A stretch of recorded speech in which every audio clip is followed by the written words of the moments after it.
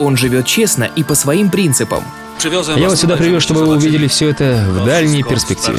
Как объяснить бюрократическому обществу, что необходимы перемены? Все, однако, зависит от людей, пан министр. Как заставить работать тех, кто делает все по накатанной? А, а ведь мы должны считаться с общественным мнением. История о человеке, который пытался изменить систему. Все для счастья других. Польская драма «Шрам» в воскресенье 7 июня на телеканале «Витебск».